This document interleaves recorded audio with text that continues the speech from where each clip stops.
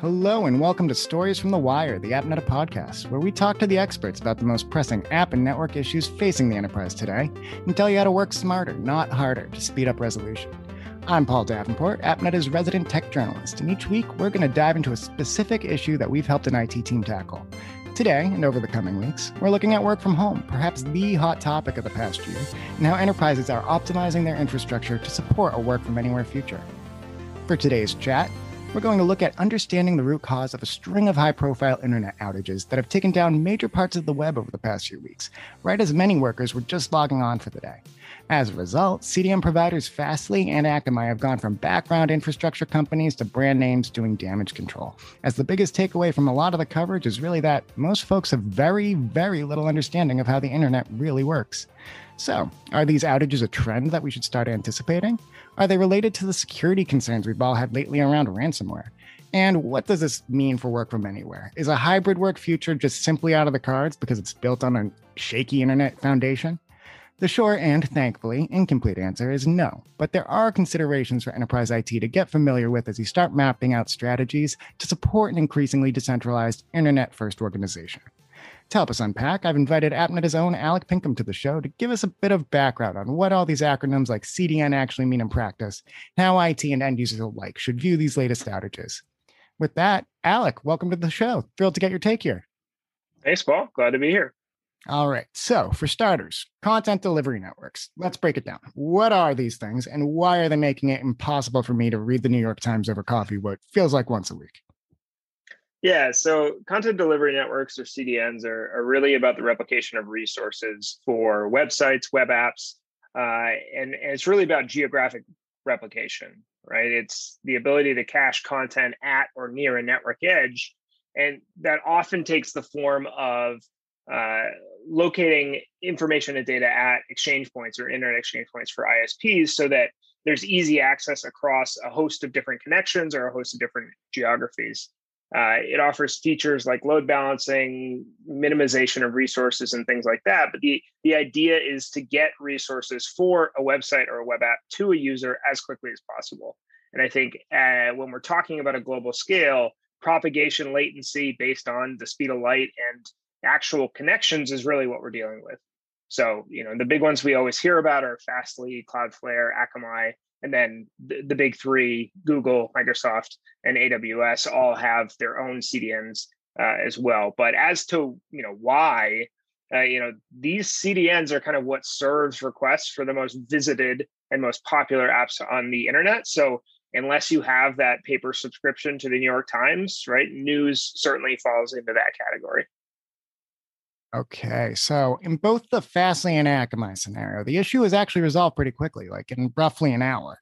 These outages can happen in such a short time frame. Why can't they be prevented in the first place?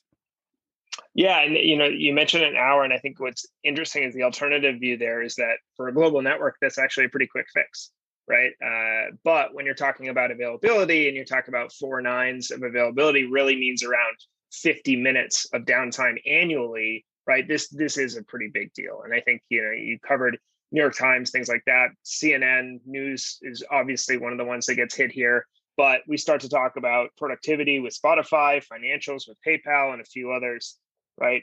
It was morning for us on the East Coast, but it's also global.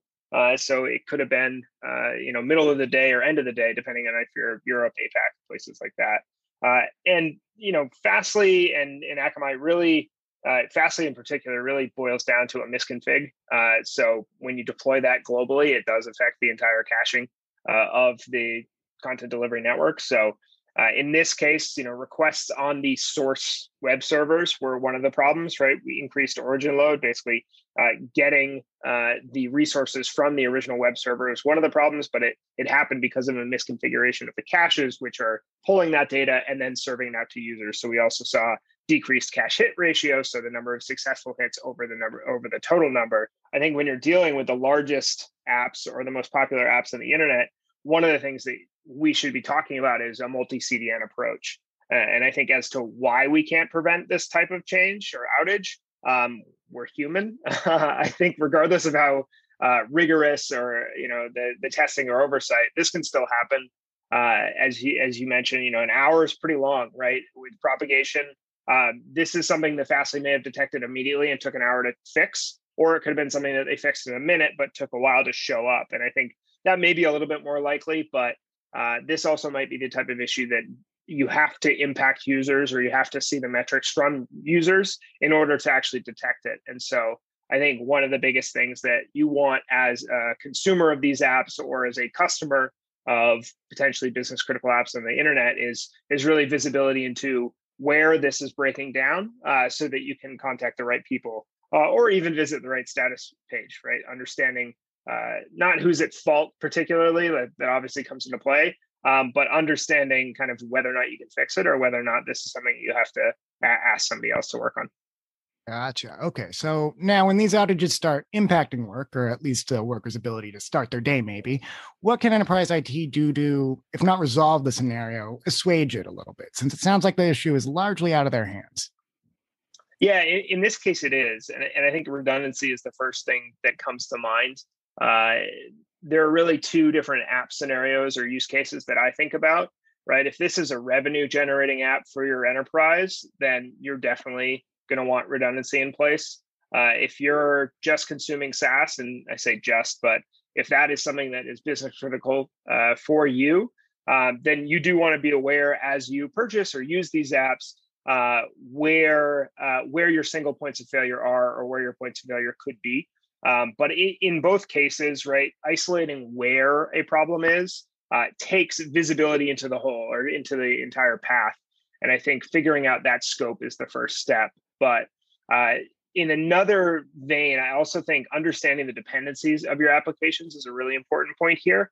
So if your core app is you know backed by a CDN and you have multiple uh, different ways to connect into that, then that's great. But if it relies on data from external APIs or third parties, then you're certainly going to have uh, some places where there's a single point of failure there. So I think all of this really calls into action better visibility into the apps we use day to day uh, some of the apps that were affected this time uh, are certainly not always the business critical ones that we think about most teams office 365 and a lot of those um, but a lot of them are going to be based on the same architectures and so understanding uh, where those apps are coming from and uh, for a global user base kind of how they're connecting to those apps is pretty important.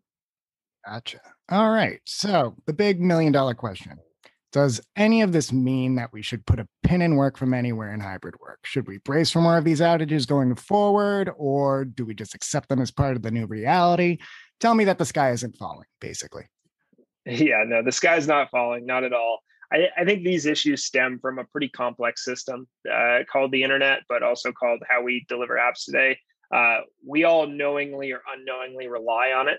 And I think what this is doing is just it's giving us uh, a little bit more clarity on how these apps are being delivered to users every day. Um, I think we we could brace for more of these, but I'd rather plan around them uh, by doing as much as I can to keep business critical apps resilient. Redundancy is one way to do that, but I think also making sure that there are uh, backups for communication. Right, we saw this a lot during the pandemic. If you were on Teams and that broke, or Skype uh, back in the day, uh, people are going to create a Slack channel and and use some other type of communication. So understanding that as IT and making sure that we plan for it is pretty important.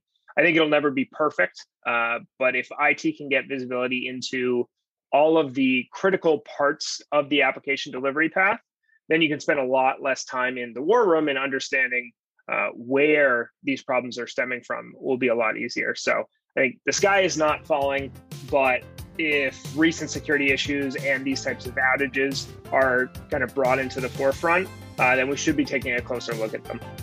Gotcha. So the whole goal is to make sure they don't catch you fully off guard, but we can never fully prepare for them. Getting visibility in place is key because the internet isn't perfect, just like us. Yeah, absolutely. Awesome. Okay, well, thank you so much, Alec. I appreciate you giving us time today.